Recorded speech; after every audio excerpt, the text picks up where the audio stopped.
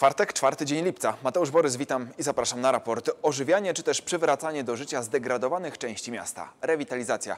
O tym coraz częściej mówi się w Poznaniu. Rewitalizować można całe dzielnice, można rewitalizować poszczególne ulice, ale chyba najlepiej zacząć od własnego podwórka.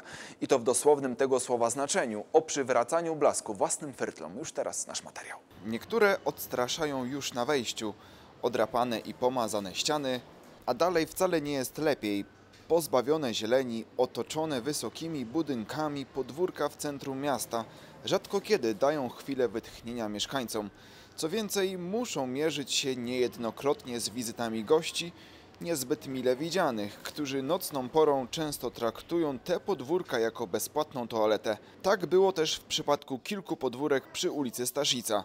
Było, bo teraz jest tam zupełnie inaczej. Uporządkowano przestrzeń, pojawiły się dodatkowe ławki, nasadzono też sporo zieleni, a na jednym z podwórek pojawił się nawet mural. Wszystko w ramach akcji Odmień swoje podwórko. coś, co się robi własnymi rękami, też e, z własnego pomysłu i przy pewnym wsparciu ekspertów, zawsze myślę ma większe szanse powodzenia niż e, powiedzmy przyjęcie gotowego projektu, który ktoś przyniesie i po prostu e, z zewnątrz wykona.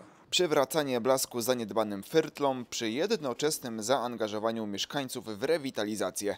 To na tym opiera się cała akcja. To lokatorzy decydują, co chcą zmienić i jak chcą zmienić, a później sami pilnują tego, czego dokonali własnymi siłami przy finansowym wsparciu władz. A władze dobre pomysły finansują, ale też sprawdzają, na ile skuteczna była rewitalizacja. Gdybyśmy nie sprawdzali, nie bylibyśmy w stanie pokazać, jak to się udało w przeszłości. Także oczywiście mamy kontakt i wiemy, że to funkcjonuje. Akcja cieszy się sporym zainteresowaniem. Po edycji na Jeżycach, Chwaliszewie i Śródce teraz przyszedł czas na podwórka na Starym Mieście. Jest to dzielnica, która dotąd była dosyć mało reprezentowana w ramach tej akcji, natomiast no nie ukrywajmy, że też gospodarz e, ma pewne prawa. Także my jako oddział przychyliliśmy się tutaj ku tej inicjatywie. Od maja trwa rewitalizacja 10 podwórek na Starym Mieście. Pieniądze na ten cel w wysokości 27 tysięcy złotych wyłożyła Rada Osiedla Stare Miasto. 10 tysięcy dołożył Urząd Miasta. Pozostajemy w temacie rewitalizacji, choć teraz zajmiemy się tym, czego zrewitalizować już się nie da, a co jest coraz większym problemem w wielu miastach w Polsce. Zdezelowane wraki coraz częściej zalegają na poznańskich ulicach, wpisując się niestety w krajobraz miasta. A że tego krajobrazu nie ubogacają, to wiemy wszyscy, a najlepiej wie o tym Straż Miejska, która wypowiada takim rupieciom wojnę. Na terenie Poznania zarejestrowanych jest prawie 400 tysięcy samochodów. Co roku przybywa kolejnych 130 tysięcy.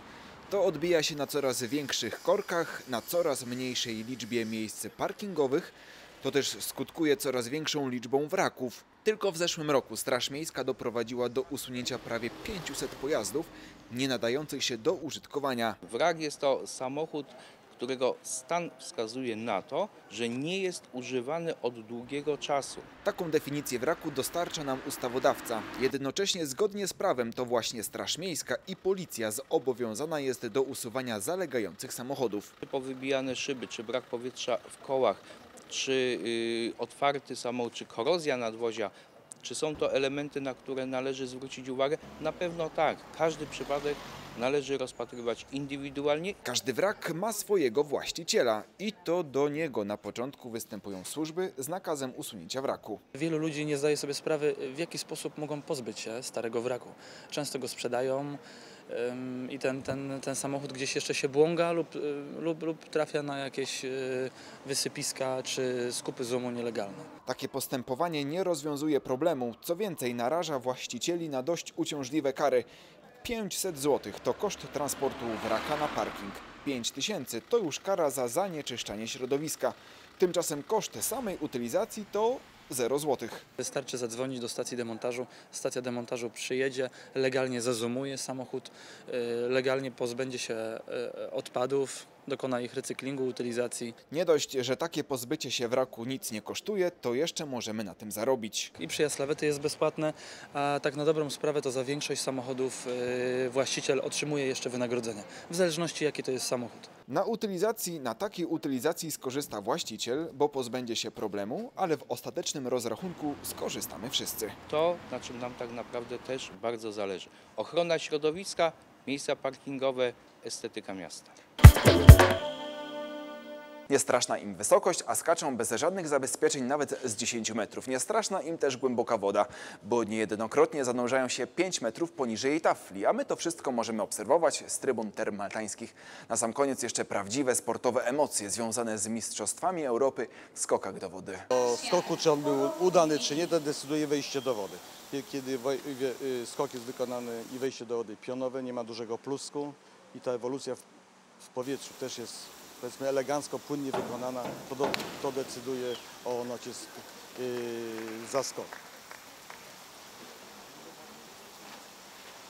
Każdy skok ma taką swoją wycenę trudności. I czym bardziej skomplikowany, bardziej złożony ten skok, no to ten współczynnik trudności jest wysoki. Wszyscy, co się liczą w skokach do wody są w Polsce. 27 krajów. Bardzo duże reprezentacje, na przykład reprezentacja Rosji ponad 30 osób, blisko 30 osób brytyjska, podobnie włoska, niemiecka. Poziom jest bardzo wysoki, ponieważ tutaj wielu zawodników z tych czołowych reprezentacji y, to są już zawodnicy na poziomie seniorskim. Praktycznie oni już niedługo będą w reprezentacjach seniorskich. Środek ciężkości trampoliny, oś obrotu i jeżeli ten wałek jest przesunięty bardziej do tyłu, to trampolina jest bardziej miękka i wtedy wykonując odbicie z końca trampoliny można się wyżej odbić. Kasper Lesiak to jest w tej chwili, jeżeli chodzi o kategorię juniorów, nasz sztandarowy zawodnik. Y, W, przez dwa lata zdobywał w kategorii juniorów w Mistrzostwach Europy medale, wcześniej w kategorii młodszej. No i tu liczymy, że, że potwierdzi ten swój poziom i to jest nasz taki główny kandydat do, do medalu. Zaczęło się bardzo prozaicznie. Mieliśmy do czynienia z dzieckiem wyjątkowym ruchowo, pewnie od 4-5 roku życia i, i chcąc spożytkować jego energię w jakiś sposób żeby będzie skanalizowany, wysłaliśmy go na naukę e, pływania na początku. Na tej samej pływani trenowali skoczkowie do wody. Jak zobaczył syn to wszystko, przyszedł do domu, mówi do mamy, mamo, mamo, zobacz jakie oni wiertarki skaczą, tak? Nawet nie wiedziało dziecko, że to się śluba nazywa, mając 6 lat.